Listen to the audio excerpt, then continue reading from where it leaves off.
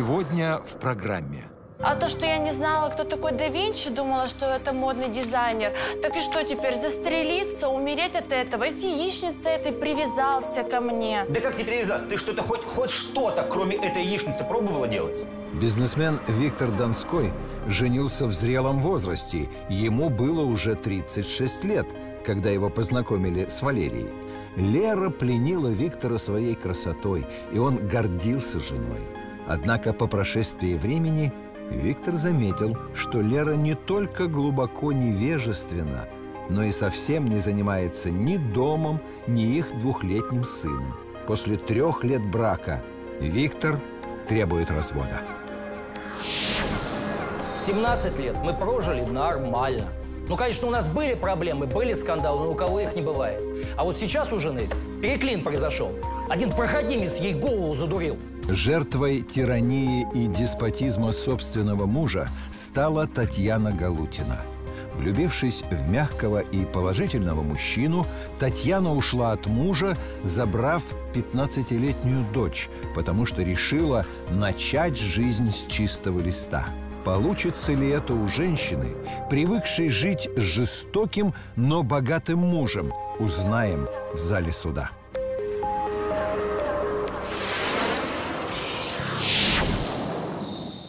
Здравствуйте. Прошу всех садиться. Судебное заседание объявляется открытым.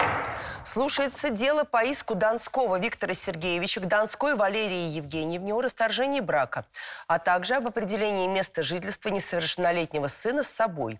Ответчик Валерия Евгеньевна на развод не согласна и выдвигает встречный иск об определении места жительства ребенка с собой, а также о взыскании алиментов на содержание сына в размере четверти ежемесячных доходов мужа. Все верно, да? У нас дело слушается с представителем органов опеки и попечительства Крамаренко Татьяна Борисовна. Но мы начинаем, Виктор Сергеевич, с вас. Вы должны изложить суду причину развода. Здравствуйте. До 36 лет я не думал о том, чтобы жениться. Ну, так получилось. Вначале бизнес строил, потом развивал его. Ну и к 36 на самом деле уже встал на ноги более-менее. Ну и подумал о том, что пора бы и семью заводить. Долго искал, выбирал, и вот, э, вот, пожалуйста, мой результат выбора. А что тебя не устраивает? Красивая, сексуальная, верная. Ну, на самом деле, все не устраивает. Прям изначально, все изначально не Ну, как устраивает. ты выбирал, значит, не так. Если вот так вот выбирал, выбирал, и все не устраивает. Мгм. Выбирал глазами. А потом приходит понимание ума. Это, знаете, она деградировала. Если она изначально была тупенькая, то сейчас за три года совместной жизни Если вы выбираете стала... себе тупенькую жену, значит, вы сам не очень-то умны. Возможно. Да. Познакомились мы с ней на самом деле при хороших обсто- обстоятельствах. Познакомили нас наши знакомые. У моих родителей есть друзья. Это их дочь. Когда я приехал на смотрины, которые были сделаны, я увидел Леру, сидящую на краюшке стула, с книжкой Стендаля в руках. Ну, правда, потом я увидел, что Стендаль был перевернут, но это не важно. Я тогда подумал, ну, читает, может быть, она по-разному, может быть, такая вот умная. Она сидела весь вечер, молчала. Я удивился, мне было, конечно, приятно. Красивая, умная, молчаливая. Потом пелена это спала, и все, все было по-другому. Абсолютно по-другому. То есть моя эта гордость перед друзьями, конечно же, хвастался. Я везде его водил с собой. Все говорили, вау, круто. Надо гордиться, а не разводиться. О, как стихами заговорила ваша честь. Надо запомнить и статус выложить. Женился же на ней. Это уже поэма прям целая, да? Ну, она причем в социальной сети постоянно выкладывает свои вот эти вот перлы. А, Как она жарит яичницу? Э, Странная ситуация. Все мы жарим яичницу, взбиваем яйца. Она делает не так. Она режет яйцо ножом, а потом удивляется, почему оттуда все вытекло. Ну, реально, ты думаешь, что курица, она вареные яйца несет? Это так, так же не бывает. После рождения ребенка мы сразу взяли няню, потому что супруга отказалась пеленать ребенка. Неприятно пахнет. Ну ты такой интересный тоже. Я тогда только ногти нарастила. Что нужно было все испортить? И так была уже ситуация, когда я ногтем Тёмочку случайно поцарапала. Так ты так и разорался. Ой, сними эти ножи Фредди Крюгера, а то ты ими зарежешь нашего ребенка. Заметьте, сейчас на ней ногтей их нет. Ну, повлиял, так сказать. Вот реально уже нет сил. Правда. Вы ребенку своему новую маму не изобретете. Так сейчас мамы и нет. Уже мама не есть занимается мама, такая и ребенком. будет. Мама ребенком абсолютно не занимается. Я же говорю, у нас есть няня. Обманщик. Мама ничего не делает для ребенка. Она просто а, фотографируется с ним, возможно, со своих социальных сетях там что-то выкладывает. Но как мама... Подождите, но она его кормит же. Мама отказалась кормить грудью изначально сразу, потому что сказала, что грудь может испортиться. Что может испортиться, если там два шарика вставлены имплантанты? Что может случиться? Но я этого не буду. Она не занимается ребенком и не будет никогда заниматься, потому что ногти могут испортиться, ноги могут испортиться, почему не знаю. Грудь испортится, губы испортятся, все. Я ни к нему не прикасаюсь, потому что я порчусь. Как можно после этого оставлять ребенка с ней? Да она его просто Может, погубит. вы сгущаете краски? Не Поз- сгущаю. Позвольте, я нервный. все-таки спрошу у вашей супруги. Валерия Евгеньевна, ну, справедливы ли претензии супруга, что вы не готовите, не занимаетесь домашним хозяйством и совсем не занимаетесь ребенком? Это так? Или он сгущает краски? Он, конечно же, сгущает краски. Как это я не занимаюсь? Я создаю в доме уют. Я такие постеры в гостиной повесила. И Тёмочкой занимаюсь. а, Развивающие игры. Я смотрю видео других мамочек в интернете. И начала сама выкладывать посты, видео по развитию ребенка, как и чем нужно кормить. Я думаю, дело здесь абсолютно в другом. Я предполагаю, что Витенька себе нашел просто новую бабу. И как раз сейчас гнобит меня за, за это все. А, а то, что я не знала, кто такой да Винчи, думала, что это модный дизайнер. Так и что теперь, застрелиться, умереть от этого? И с яичницей этой привязался ко мне. Да как тебе привязаться? Ты что-то хоть, хоть что-то, кроме этой яичницы, пробовала делать? Вот хоть что-нибудь. А зачем? У нас няня первое, второе, компот варит. Ну, для Тёмы я научилась готовить. Ты просто об этом не знаешь. Эм, э, пос- Постоянно ругался, что я там э, няне доплачиваю за уборку и готовку. Весь покраснел, как мои перчатки. Не понимаю. Ваша честь, вот ну реально отчаялся. Вот правда отчаялся, потому что, ну какая-то Ну ты жизнь. просто нервный. Вале- Валерия Евгеньевна, скажите, пожалуйста, ну вы понимаете, что вы не сможете всю жизнь за спиной няни э, прятаться? Ребенок будет расти, вы все равно будете матерью. Спасибо Забота о огромное. ребенке все равно будет на вас. Рано или поздно, через год или через два. Все равно няня ответственность всю жизнь не принесет. Да, я понимаю, была такая ситуация, Готовить когда... придется и себе, и мужу, и ребенку, и друзьям ребенка. Да, и приходилось. У нас няня как-то заболела, так я два дня с Тёмой сидела. Я так намучилась. Надо и пить, и кушать, и на горшок. Этот-то меня не бережет совсем. Как на светские рауты водить, понимаете, на деловые встречи. Так он гордится, что у него такая красивая жена. А как понять мою тонкую натуру, так его рядом нету. Дорогой, ты должен быть горд за то, что я у тебя есть вообще. И, Ваша честь, я против развода и не собираюсь отдавать своего сына. Я, значит, ходила беременная 9 месяцев, мучилась, потом э, рожала, благо хоть кесарево се- сечение было.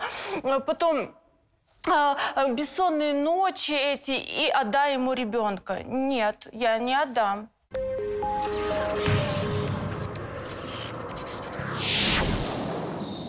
Она обложила тебя гаджетами. Это правда, есть у нее такой загон. Она вот любит всякие гаджеты, чтобы Ты грубое животное, ведь я все для тебя делаю, все самое лучшее для тебя. А ты деньги на меня жалеешь. Ваша честь, вы же, вот вы как дальше жить? Вы же сами понимаете, сколько стоит э, к, к косметологу пойти, к парикмахеру хорошему, а он мне денег совсем не дает. То есть он вас в средствах ограничивает. Да. Адвар сказал А если что... бы не ограничивал, вы бы развернулись. Знаете, куда потратить деньги? Да. Хорошо. Давайте выслушаем представителя органов опеки и попечительства. Татьяна Борисовна, ваше мнение? Да, значит, сейчас э, Валерия Евгеньевна у нас живет вместе с ребенком у своих родителей.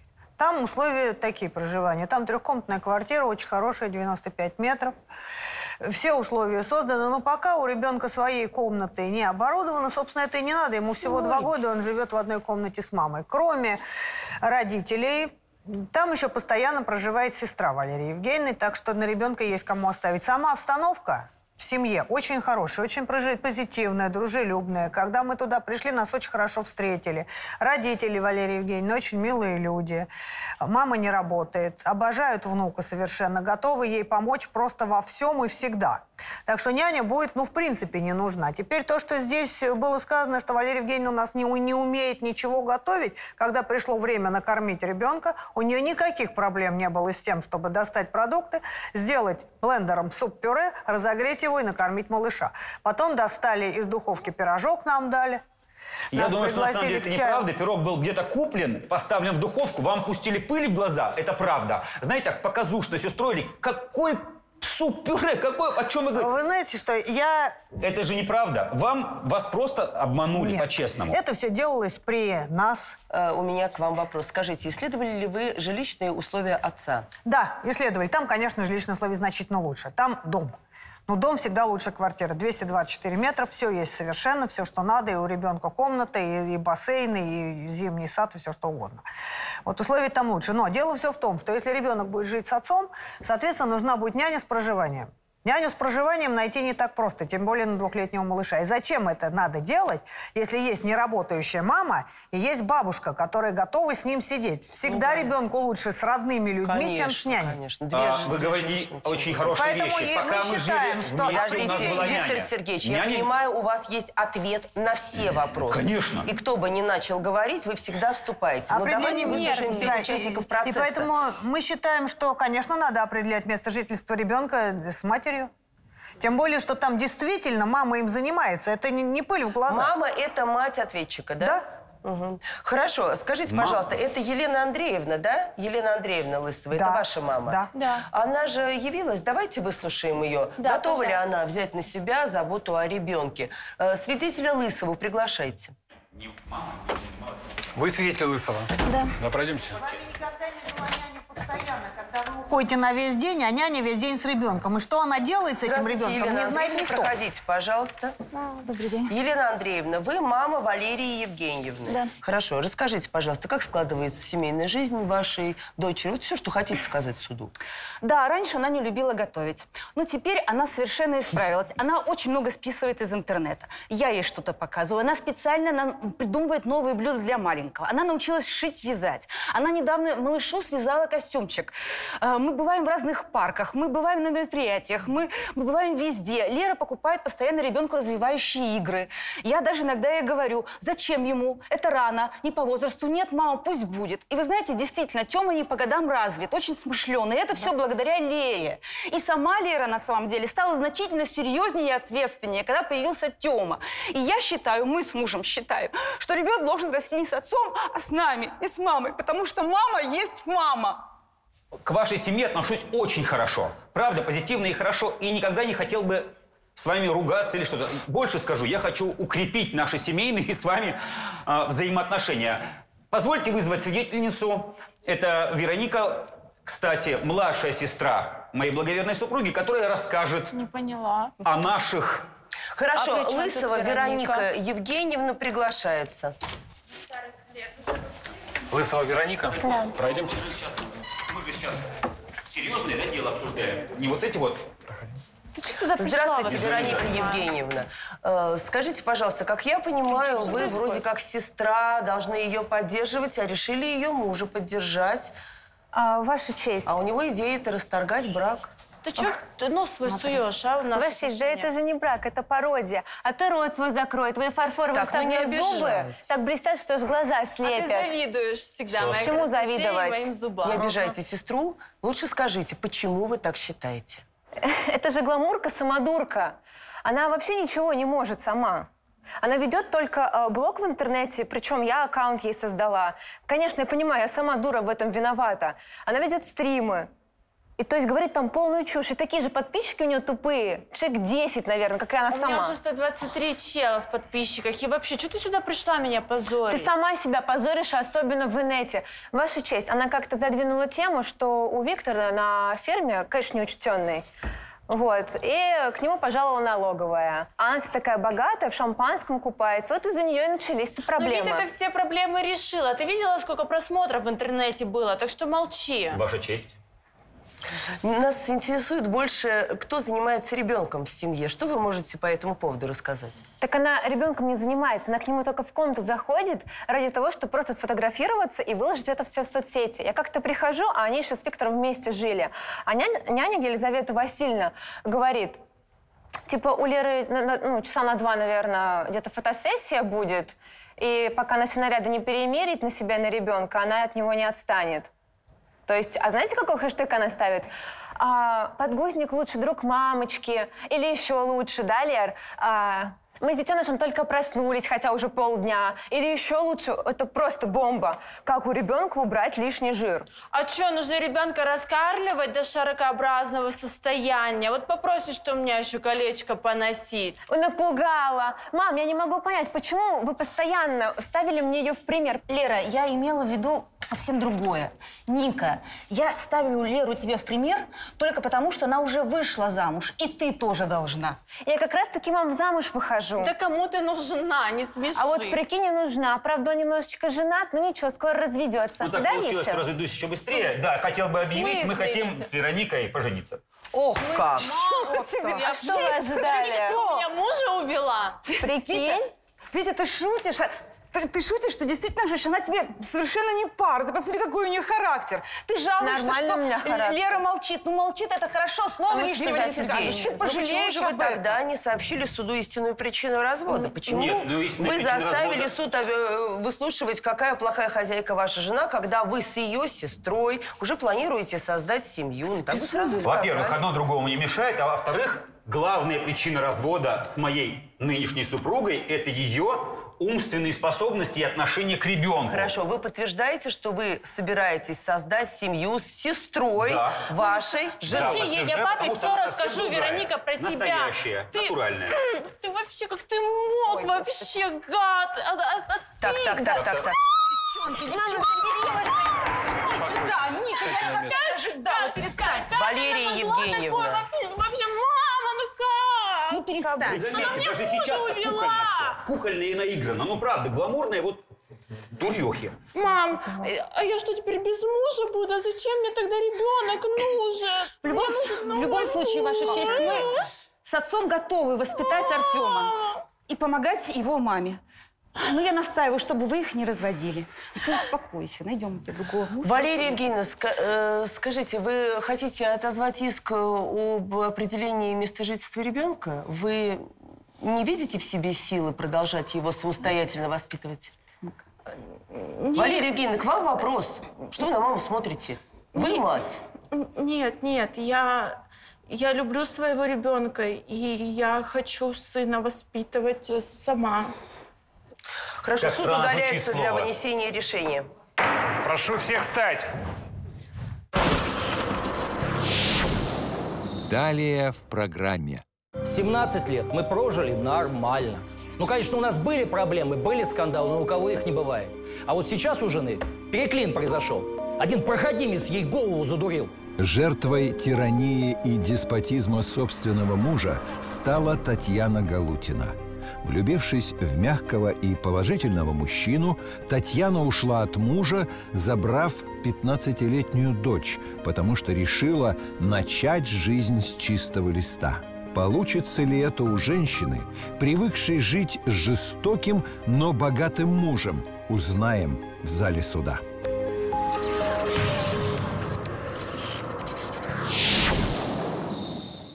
Я прокляну тебя. Тишина в зале, прошу всех садиться. Оглашается решение суда. Иск о расторжении брака удовлетворить. Брак между супругами расторгнуть.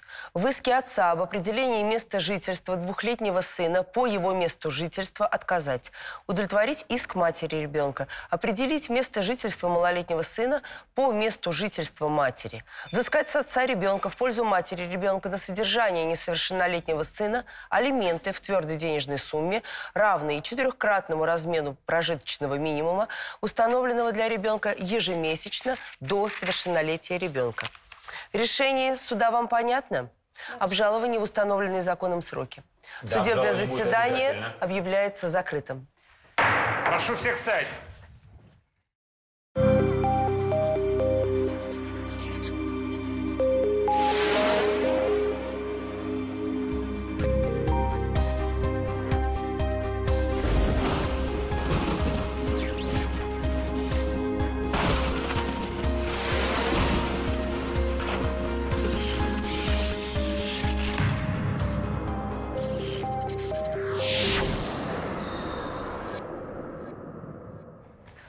Здравствуйте, прошу всех садиться. Судебное заседание объявляется открытым. Слушается дело по иску Галутиной Татьяны Викторовны Галутину Алексею Матвеевичу о расторжении брака и о разделе супружеского имущества. Трехкомнатной квартиры, 126 квадратных метров стоимостью 18 миллионов 620 тысяч рублей. Двухкомнатной квартиры, 85 квадратных метров стоимостью 11 миллионов 200 тысяч рублей. Трех автомобилей – так, значит, автомобили у нас иностранного производства. Первый автомобиль 1 миллион 200 тысяч рублей оценен. Если вы не согласны с оценкой, сразу говорите. Второй автомобиль 1 миллион 750 тысяч рублей. И третий автомобиль 1 миллион 125 тысяч рублей. С оценкой вы согласны, Да, да? согласна, И банковский счет также спорный у вас 2 миллиона 400 тысяч рублей. Это как раз, э, истец, вами был представлен документ. Хорошо. Ваша честь. Ответчик Галутин Алексей Матвеевич с исковыми требованиями, как я понимаю, не согласен. Не согласен. В зарегистрированном браке вы 17 лет, у вас несовершеннолетняя дочь, ей 15 лет, но у вас нет спора об определении места жительства ребенка, и в случае развода по предварительной договоренности дочь остается жить с мамой. Да. Здесь у вас тоже возражений Да, нет. да, Хорошо. Татьяна Викторовна, тогда поясните, пожалуйста, после 17 лет совместной жизни, имея дочь, вы хотите расторгнуть брак. Какая серьезная причина? Да, Ваша честь. Я хочу... Я подала на развод, потому что мы на самом деле с мужем уже совершенно чужие люди давным-давно друг другу. А, честно говоря, я не люблю Лешу. И абсолютно к нему равнодушна. А, вот документы, а, свидетельство о браке и свидетельство о рождении дочери. Хорошо, пристав, передайте, пожалуйста, оригиналы документов. Продолжайте. Вы говорите, что вы равнодушны к своему супругу. Ну скажите, вот 17 лет, ведь вас что-то связывало, у вас были какие-то в начале отношения. Ну как все развивалось? Как вы пришли к этому? Скажите, пожалуйста. На самом деле, последнее время, а это ну, последнее время, я просто терплю своего мужа. Ну, последнее Недавно- время это сколько лет? Ну, три, пять. Но мне трудно вам сказать точно, но... Ну, 17 мне лет вы живете, вы уже Мы родственники. 17 лет вместе. Я не могу вам назвать момент, когда я была счастлива. Последний раз. Но в посл- случилось чудо. Я полюбила, и это взаимно, к счастью. Так, так. И именно поэтому я требую развода. И хочу развода. Потому что я еще молодая женщина и могу быть счастлива в новых отношениях. А, мой муж Алексей, он успешный бизнесмен. У него сеть автомоек, автосервисов. А, а, есть и в других городах, поэтому он часто бывает э, в командировках. Честно говоря, мы неделями с ним не видимся. Если я ему не позвоню, он никогда сам не позвонит и не поинтересуется, как мы с нашей дочерью. А, ну разве не так, Леша? Это ради семьи. Я работаю, я вас обеспечиваю. Вот. И поэтому, э, в общем-то, из этого я делаю вывод, что и мой муж ко мне равнодушен. Это неправда. Ну хорошо, Татьяна Викторовна, то есть у вас какие-то новые отношения возникли, это тоже является очень серьезным основанием для расторжения брака. Но вот по имуществу, объясните мне, пожалуйста, э, каким образом оно было нажито, когда и как вы его предлагаете поделить? Вот эти две квартиры, Ваша три автомобиля.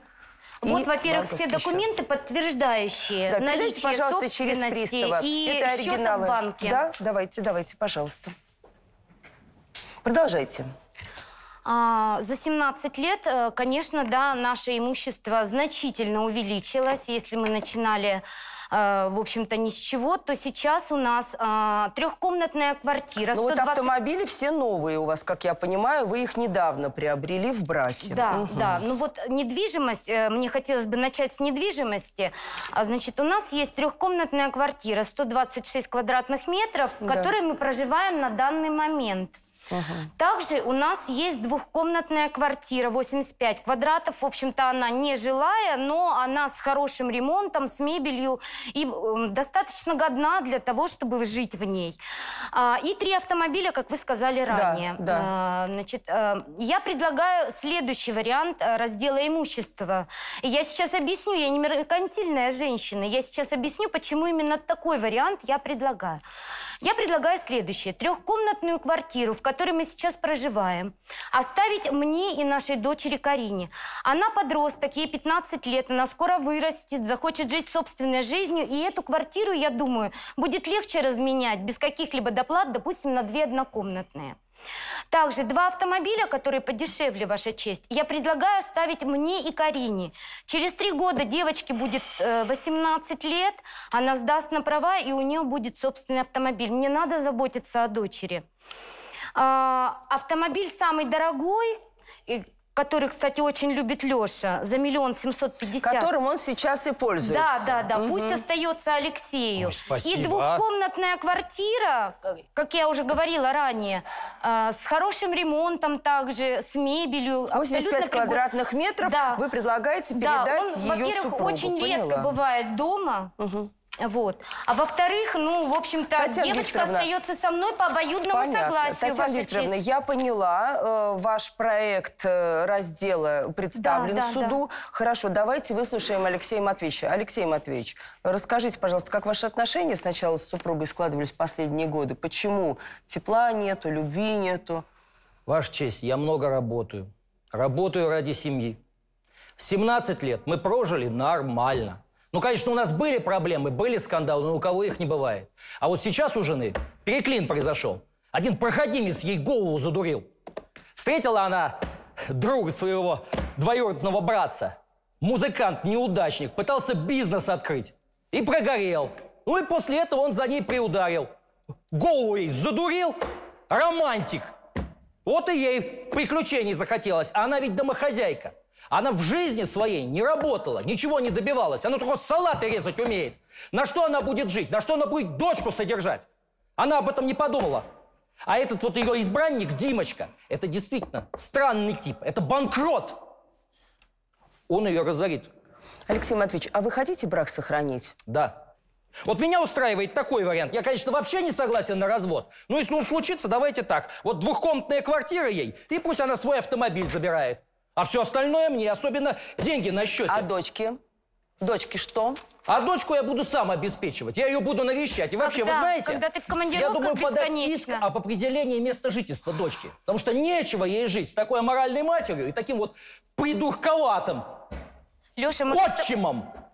Я прошу пригласить э, моего любимого человека, Шапошникова, э, Дмитрия Константиновича, который, возможно, донесет до вас, почему наш брак далее невозможен. Он Ну, хорошо, суд с удовольствием сейчас выслушает Шапошникова. Для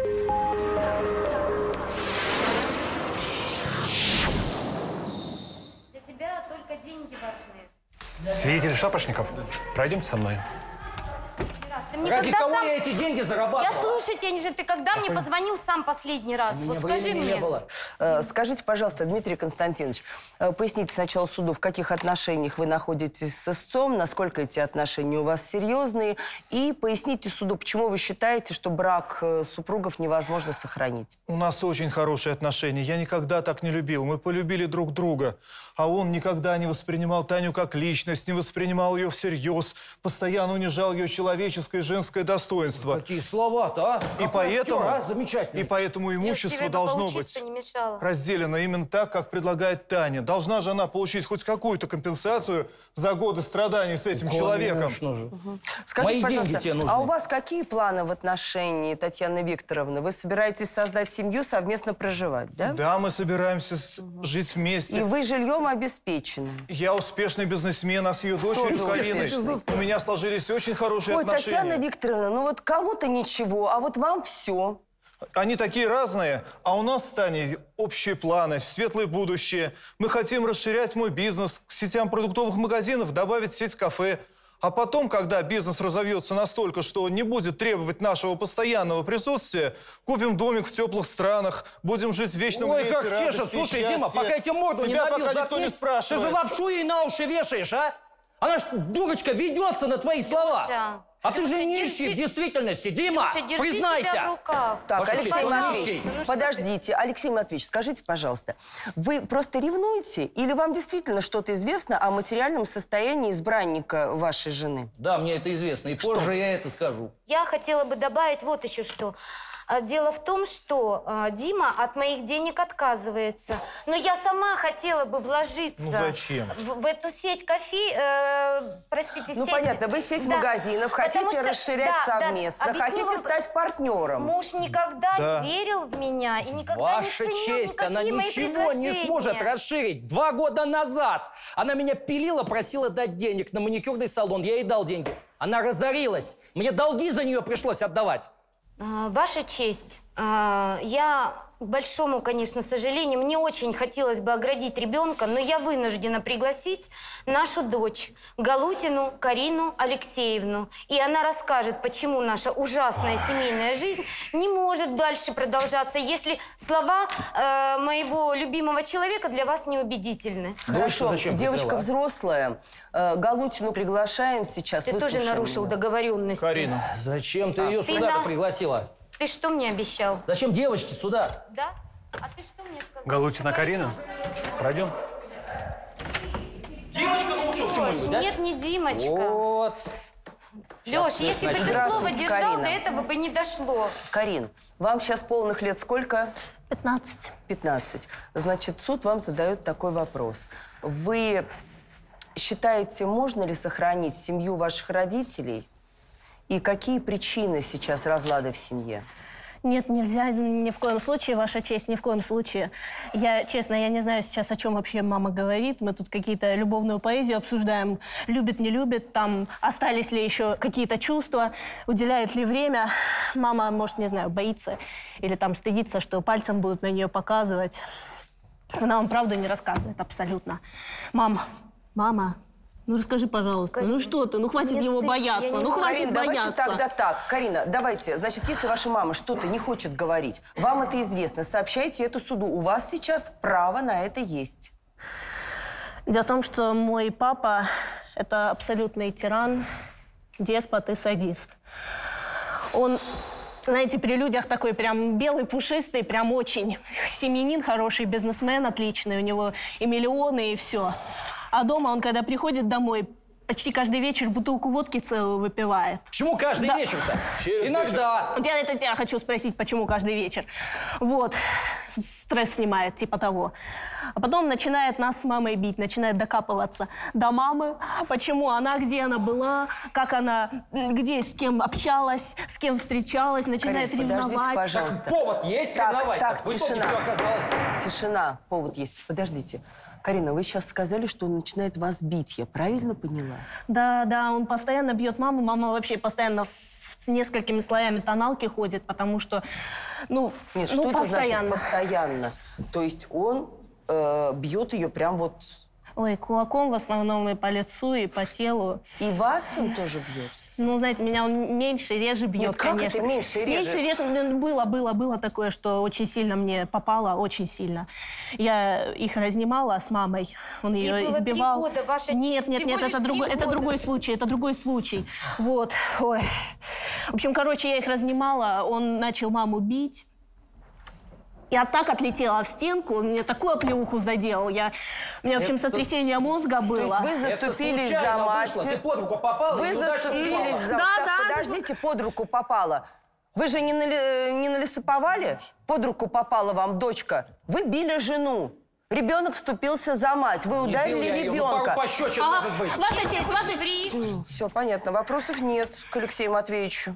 Мой муж действительно тиран, садист и моральный урод. Спасибо. А что же вы раньше-то? Раньше Ваша не расстались, честь. не оградили свою дочь, не обратились Мне в очень милицию, стыдно. не прекратили. Я ради Карины тянула это все.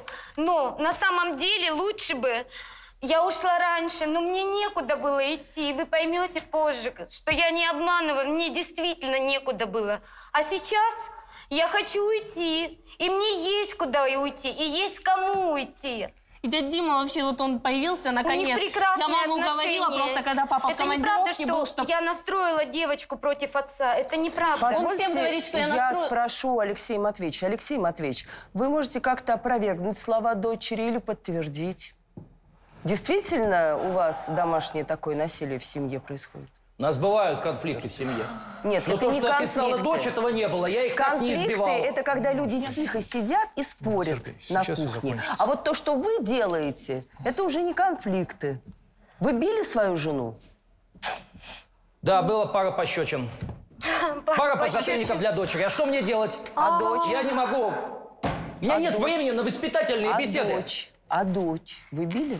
Пара подзатыльников. Пара подзатыльников, да ты меня постоянно бил, ты меня постоянно...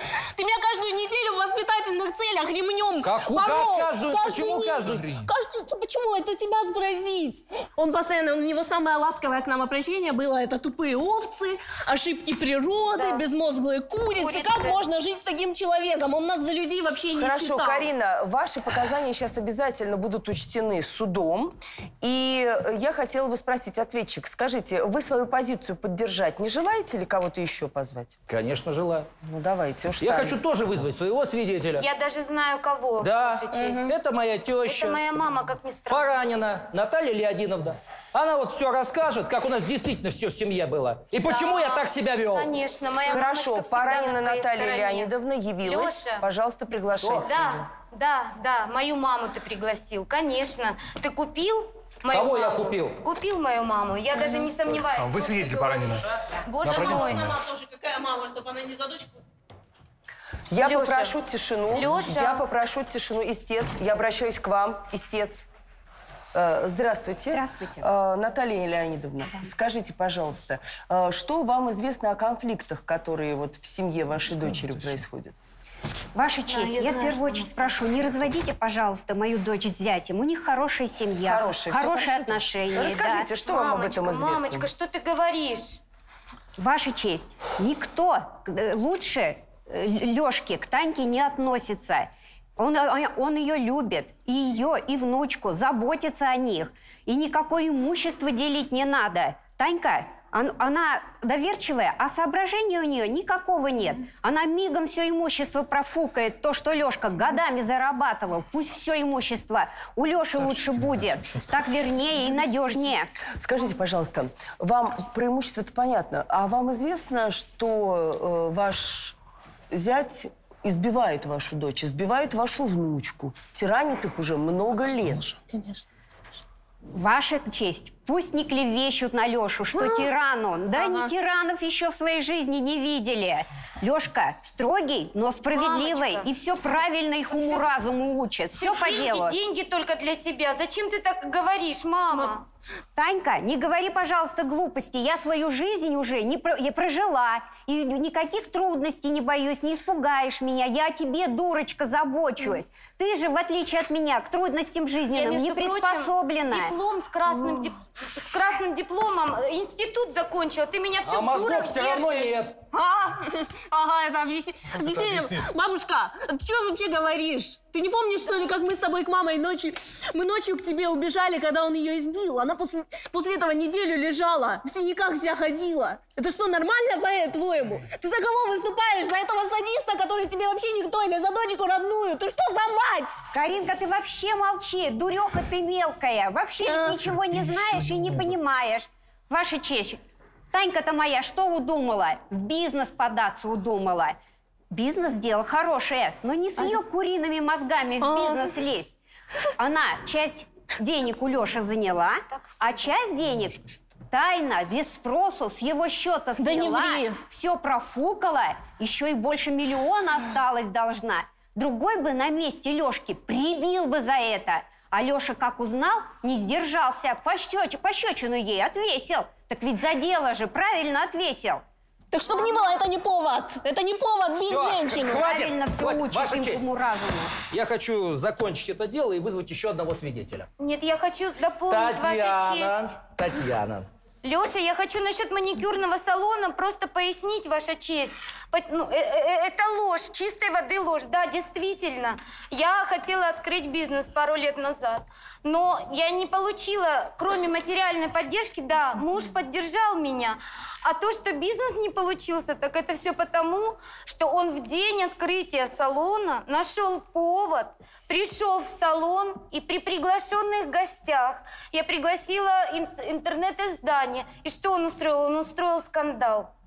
Плитка ему, видите ли, не понравилась. Конечно, все... го- Ну, то есть, ну какая слава? Вы же знаете, Конечно, что я во дурная всем слава виноват, а, вперед Татьяна? бежит. Что Это не, не хочешь, я тебе виноватая. Сейчас докажу, что Лёша, ты твой всег- Димочка ради денег только с тобой сошел. Лёша, Хочешь, покажу? ты За пять минут он от всегда тебя у тебя отречется. деньги Ваша честь, вперед. можно Ты еще никогда, свидетеля? вообще, тебе всегда плевать на Барабина, меня. Олега Евгеньевича. Лёша, Вот он сейчас все расскажет, какой у нас Димочка и насколько он успешный бизнесмен. Хорошо, ходатайство ответчика удовлетворяется. Приглашаем в зал Барабина.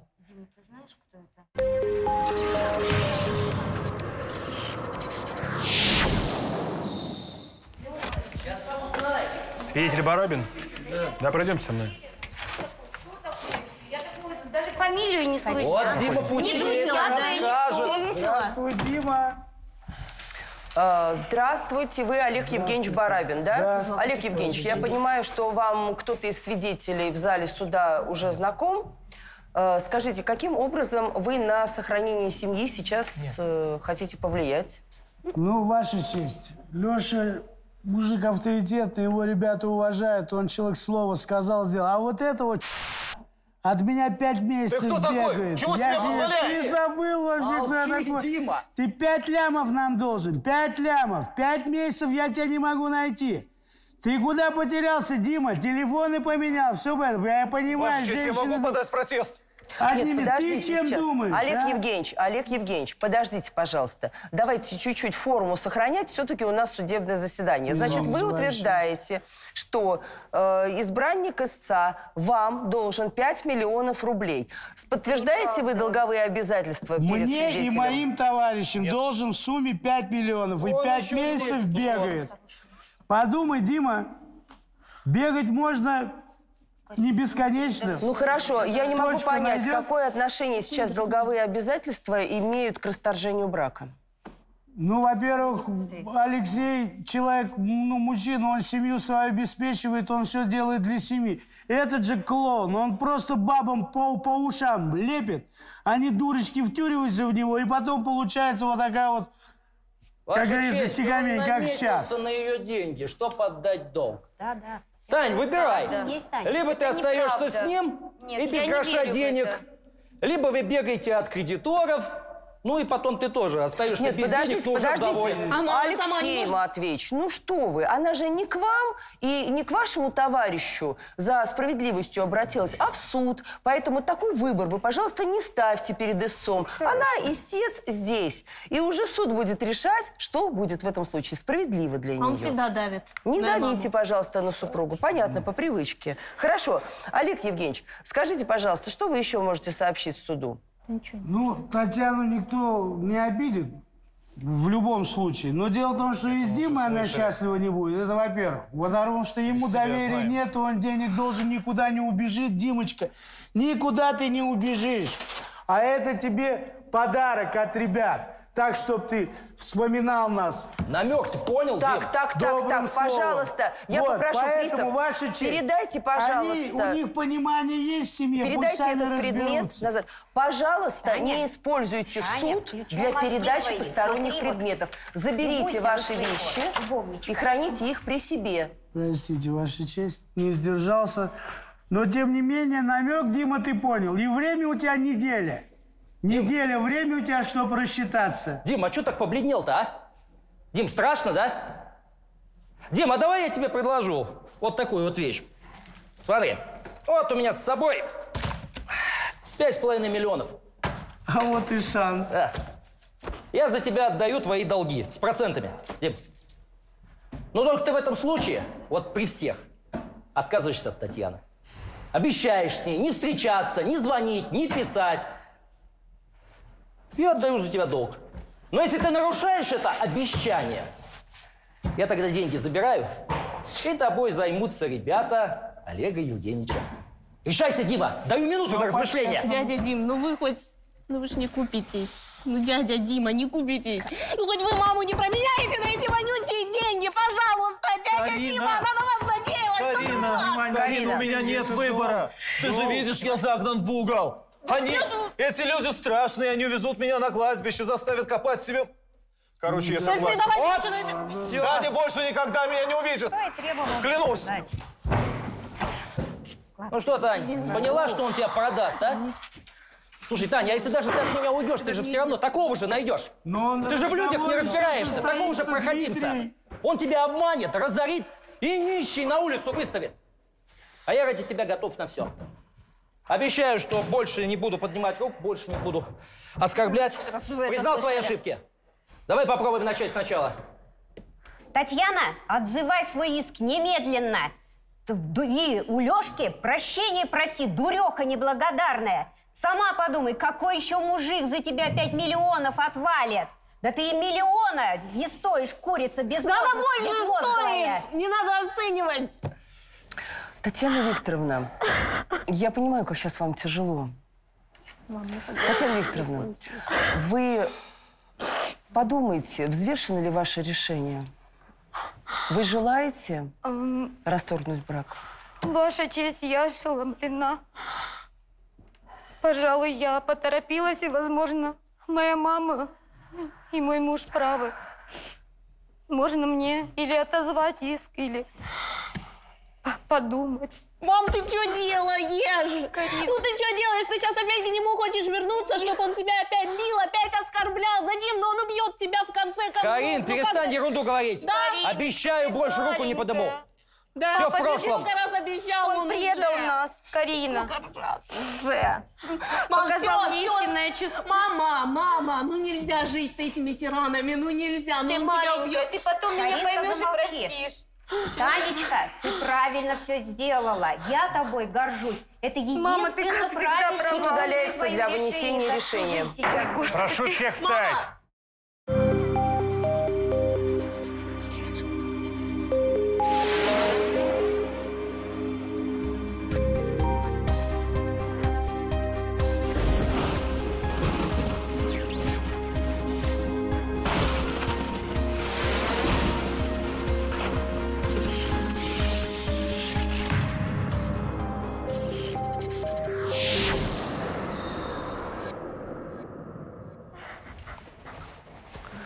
Прошу всех садиться.